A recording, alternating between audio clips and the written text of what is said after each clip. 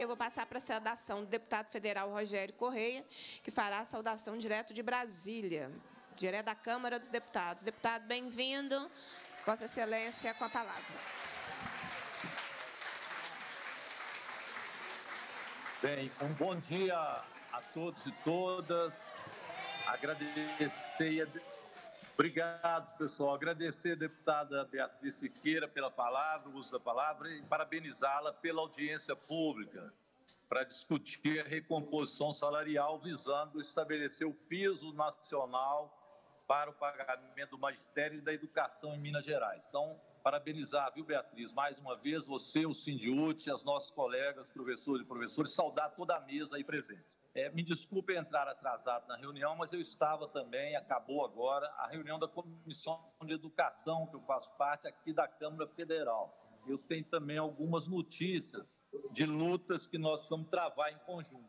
É, nós aprovamos agora uma subcomissão para trabalhar o tema do novo ensino médio e da revogação desse novo ensino médio para que seja colocado algo no lugar que garanta realmente uma educação pública de qualidade para nossos jovens e nossas jovens. serve para Minas e serve para o Brasil. Então, nós vamos formar uma subcomissão na Câmara que vai fazer este estudo.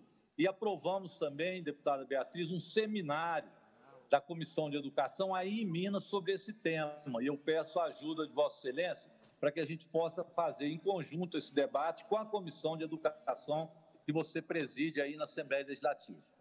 A segunda questão a informar é que nós também aprovamos o requerimento de minha autoria para que a gente possa fazer um balanço da implementação do piso nacional do magistério em todo o país, estados e municípios. Deputada Beatriz esteve essa semana aqui em Brasília e nós estivemos, junto com a Confederação Nacional dos Trabalhadores de Educação, conversando com a secretária executiva, professora Isolda, do MEC, e ela mostrou o interesse de que a gente faça, sim, um debate que é, faça com que governos e municípios acatem realmente a implantação do piso salarial nacional, que é lei nacional e que, por muitas vezes, é infringido. Então, neste debate que nós fizemos com a professora Isolda e a CNTE, a Confederação lançou uma semana de luta pelo piso, e vem, inclusive, com este dia que vocês estão fazendo de uma paralisação. E esta semana aponta exatamente esses dois pontos, o ensino médio e o cumprimento do piso nacional. Então, com base nisso, nós aprovamos uma audiência pública para fazer esse debate. Eu conheço a situação bem de Minas Gerais, né, tanto como, militante que sou ainda também do movimento sindical, fundador da UTS, mas também como deputado estadual e sei que nós estivemos muito perto em Minas Gerais do pagamento integral do piso nacional com a jornada real existente, que é a jornada de 24 horas. Mas que houve um arroxo muito grande, talvez o maior arroxo do país, foi aí em Minas, infelizmente, no governo passado do Zema, e parece que continua.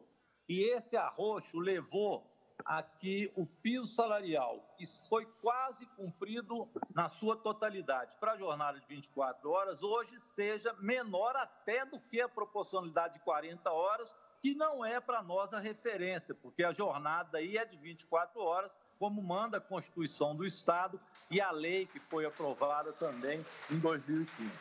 Então a gente espera que por parte do governo de Minas haja realmente um esforço que não está havendo para o cumprimento do piso daquilo que é a reivindicação dos trabalhadores de educação e que é justa para essa jornada de 24 horas.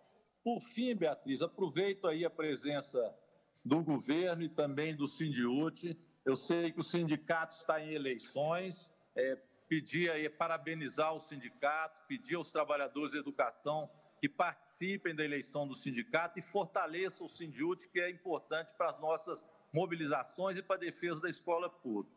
E solicitar do governo que retire a ação que ele colocou no Superior Tribunal, no, no Tribunal de Justiça de Minas Gerais, que culminou com uma multa milionária ao sindicato, numa clara atitude antissindical do governo e de desrespeito ao direito de greve.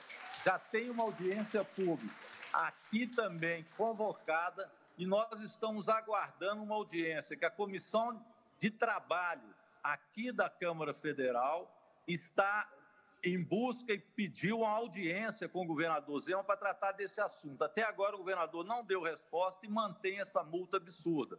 Então, a nossa audiência pública já foi aprovada e nós vamos chamar, inclusive, a Organização Internacional do Trabalho para fazer uma denúncia internacional do, da questão de perseguição ao sindicato e de prática antissindical.